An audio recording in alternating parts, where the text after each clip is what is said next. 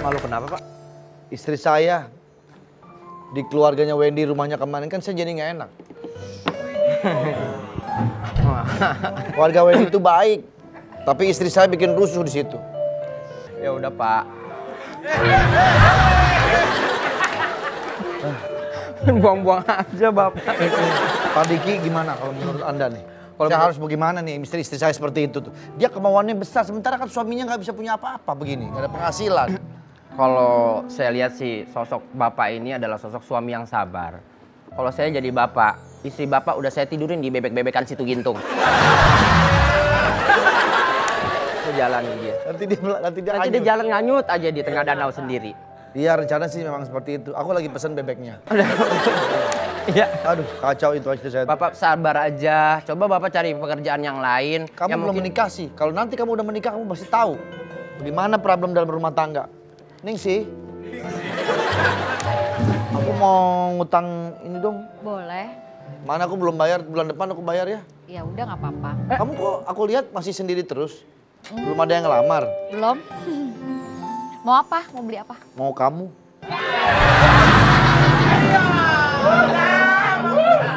Pok, kata dia, dia mau kamu. Dapat di mana tuh? Wah, lu. Bilang dong. iya, nggak ngomong. ya, saya pesan dulu ya. Makasih ya. Sama. Nah, ada plastiknya nggak? Boleh, boleh. Saya kebon dulu. Pak, Pak, maaf nih Pak, saya kan orang lain cuma security tapi kan Bapak udah punya istri.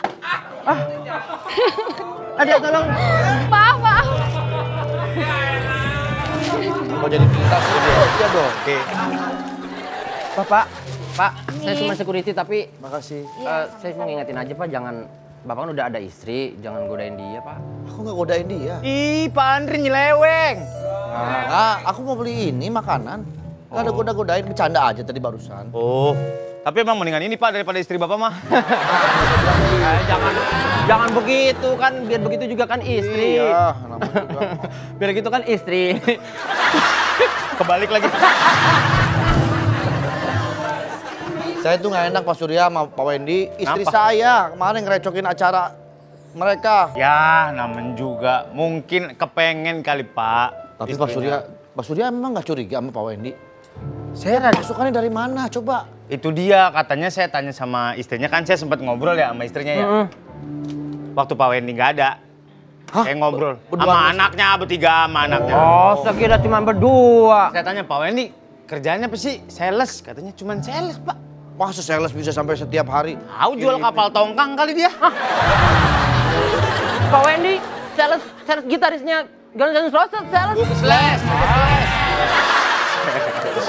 Sales kita. Kayaknya ada yang nggak beres Pak Sur. Saya maaf nih bukannya sirik sama orang ya. Tapi kalau ngeliat kayak begitu kan jangan-jangan dia pemasukannya dari sesuatu yang nggak benar. Jangan begitu Pak Andre, bisa aja dia punya usaha di luar sana yang kita nggak tahu Pak Andre. Iya bisa jadi Pak. Ya namanya juga orang usaha kan. Eh nggak tahu usahanya apa. Kalau kita mah. Kalau Iya emang sih. dia aslinya orang kaya, tanahnya di mana-mana, kan kita nggak tahu. Iya. Sama ini. Iya. juga. Jangan cuma kan kita sebagai tetangga masa tiap menit dia datang. Pemasukan Makanan Pak. kayak begitu. Itu hitung ya mereka berdua makan roti.